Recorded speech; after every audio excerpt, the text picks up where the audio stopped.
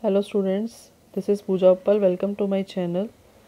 If you have not subscribed my channel yet then please subscribe it first. So let us start the video. Today I'm going to discuss the topic of classification of polygons on the basis of number of sides.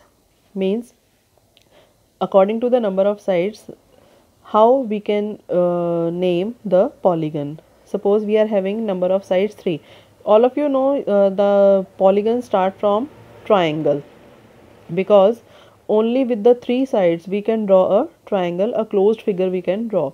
So it starts from triangle and it is having sides three sides. So if if we are having number of sides 3 then it is called a triangle. The name of the polygon is triangle.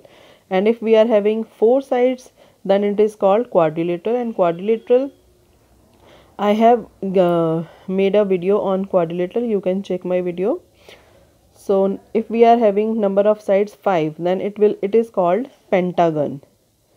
If we are having 6 sides then it is called hexagon. 7 sides then heptagon. 8 sides octagon. 9 sides nonagon. 10 sides decagon and so on. So according to the number of sides we can name the polygon. If we are having n sides suppose i am having n sides so it is called n-gon means it is based on the number of sides. How many sides you are having? So according to that we can name the polygon. So it starts from three sides and it moves to 10 uh, then according to we are having n sides then we will call it n-gon so if you are having any problem so you can comment it if you want me discuss any other topic then please comment in the comment section. Thank you so much